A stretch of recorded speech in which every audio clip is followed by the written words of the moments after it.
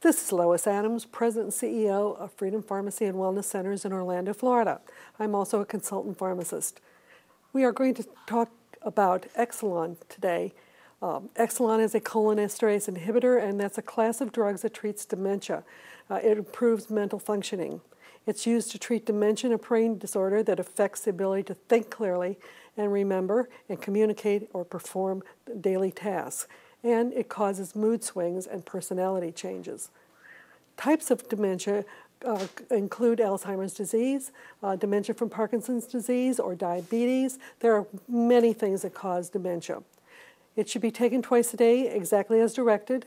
You continue your normal diet. You may improve the ability to think or slow the, um, the loss of abilities but it cannot cure dementia. And many thing, people think that this drug is going to cure.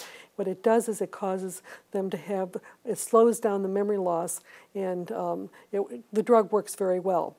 It comes in tablets, a skin patch, and liquid formulations. Uh, you select a different part of the body or body site each day with the patch. People use the patch because there are side effects from the, uh, the tablets. Uh, the side effects include gastrointestinal problems, drowsy or drugged feeling, and it has many, many drug-drug interactions. And this is a little bit about the drug Exelon.